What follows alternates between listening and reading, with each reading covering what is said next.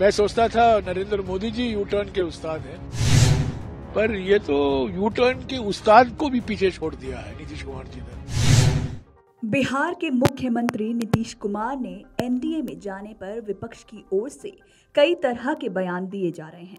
बुधवार यानी कि 31 जनवरी को कांग्रेस नेता जयराम रमेश ने बिहार के मुख्यमंत्री पर हमला करते हुए कहा कि मैं सोचता था कि नरेंद्र मोदी यू टर्न के उस्ताद हैं, लेकिन नीतीश कुमार ने तो यू टर्न के उस्ताद को भी पीछे छोड़ दिया। कांग्रेस महासचिव जयराम रमेश ने कहा, नरेंद्र मोदी ने मनरेगा पर यू टर्न लिया। जीएसटी पर यू टर्न लिया। कृषि कानून पर यू टर्न लिया, लेकिन नीतीश कुमार ने तो यू टर्न के उस्ताद को भी पीछे छोड़ दिया।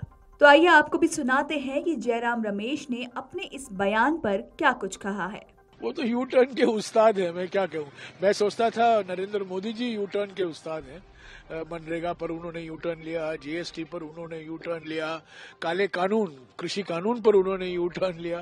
पर ये तो यू टर्न के उस्ताद को भी पीछे छोड़ दिया है, नीतीश कुमार जी ने। बता दें कि जयराम रमेश ने कटिहार में ये बयान दिया है। उधर इंडिया गठबंधन में सीट शेयरिंग के मामले पर भी उन्होंने कहा। उन्होंने अपने इस बयान में आगे कहा, हमारी ओर से तो कुछ फाइनल नहीं हो पाया है। देखिए जब गठबंधन में होते हैं और बातचीत चल रही होती है तो बेहतर होता है कि सब एक ही आवाज़ में बोलें। एक तरफा नहीं हो सकता। हमने कोई घोषणा नहीं की है। इंडिया गठबंधन में तीन पार्टियाँ हैं। अलग अलग लड़ना है तो हमें औपचारिक तौर से कहना चाहिए कि हम अलग अलग लड़ेंगे। कांग्रेस नेता ने कहा, अब तक हम ये मान के चल रहे हैं कि इंडिया गठबंधन एक होकर पश्चिम बंगाल में भी लड़ेगा। बीजेपी की ओर से कमेंट किया जा रहा है कि भारत जोड़ो न्याय यात्रा के तहत जहाँ भी राहुल गांधी जा रहे हैं, वहाँ अलायंस की पार्टी बिखर जा रही है। इस पर जयराम रमेश ने कहा, ये तो ईडी और सीबीआई का कमाल है। झारखंड में कोशिश की जा रही है, बिहार में नीतीश कुमार को यूटर्न करवाया गया। प्रधानमंत्री की ये सब रणनीति है। भारत जोड़ो न्याय यात्रा की सफलता से भारत की जनता का ध्यान हटाना चाहते हैं। आपको बता दें कि बिहार की सियासत में एक बार फिर से बदलाव देखने को मिला है। बीते दिन मुख्यमंत्री नीतीश कुमार ने आरजेडी के साथ गठबंधन तोड़कर बीजेपी के साथ हाथ मिलाया और एक बार फिर से नई सरकार का गठन किया।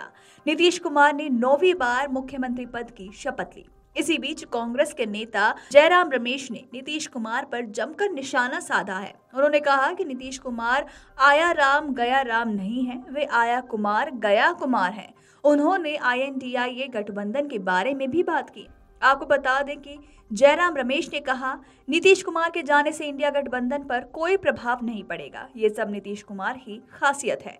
वे आया राम, गया राम नहीं है, बल्कि वे तो आया कुमार, गया कुमार हैं। ये सब प्रधानमंत्री मोदी द्वारा रचा गया है, जिन्होंने कल को नीतीश कुमार के विश्वासघात के दिन के रूप में देखा। आज आप देख रहे हैं कि किशनगंज और बिहार के लोग राहुल गांधी और भारत जोड़ो न्याय यात्रा को ज़बरदस्त प्रतिक्रिया दे रहे हैं। Video desk Amar Ujala dot com. अगर आप ये वीडियो YouTube पर देख रहे हैं तो हमारे चैनल को सब्सक्राइब करें और बेल आइकन को दबाना ना भूलें। अगर आप Facebook पर यह वीडियो देख रहे हैं तो हमारे पेज को लाइक करें।